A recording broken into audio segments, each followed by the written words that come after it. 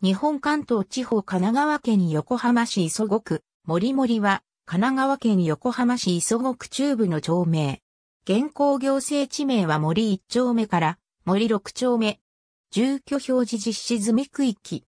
本校では、1927年4月1日より1977年まで存在した森町及び、そこから分離新設した森が丘一点二丁目についても述べる。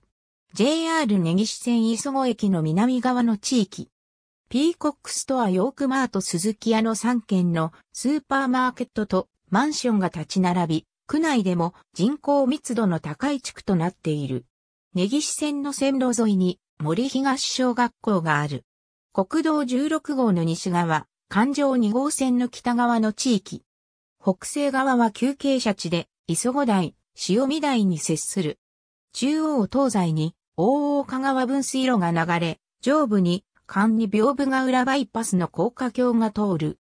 毎年夏には森屋様神社霊祭が行われ、森中学校運動部の生徒たちがみこしを担いでいる JR 根岸線と京急本線に挟まれた地域で、磯子産業道路沿いに横浜市営バス、磯子営業所や磯子郵便局がある。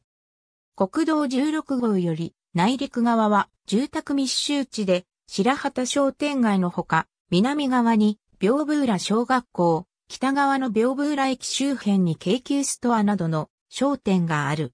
また、国道16号側には森町プールがある。京急本線西側の丘陵の住宅地であり、東側は江南区に接する。4丁目と5丁目の境に環状2号線が通り、5丁目には神奈川県立磯子工業高等学校と森中学校がある。4丁目にはかつて、のびの里フィールドアスレチックがあったが、環状2号線屏風ヶ浦バイパス用地確保のため、閉鎖された。上大岡駅にほど近い住宅街で、京急本線の東側が1丁目、西側が2丁目である。戸建て住宅が中心であり、住民の高齢化が進行している地区でもある。面積は以下の通りである。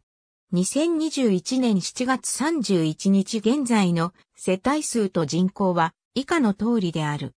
国勢調査による人口の推移。国勢調査による世帯数の推移。2021年7月31日現在の世帯数と人口は以下の通りである。国勢調査による人口の推移。国勢調査による世帯数の推移。私立小中学校に通う場合、学区は以下の通りとなる。2016年現在の経済センサス調査による事業所数と従業員数は以下の通りである。森一丁目に JR 根岸線磯子駅、森三丁目に京急本線屏風浦駅がある。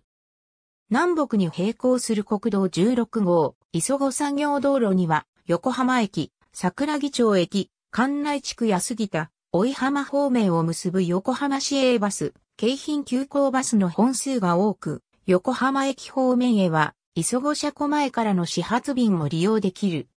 森5.6丁目は、磯子駅、屏風浦駅と、陽光台駅とを結ぶ江ノ電バスが利用できる。森が丘1.2丁目は京急、市営地下鉄の上大岡駅に近く、バスの便も上大岡駅を発着する、京浜急行バスが中心となる。町内の警察の管轄区域は以下の通りである。ありがとうございます。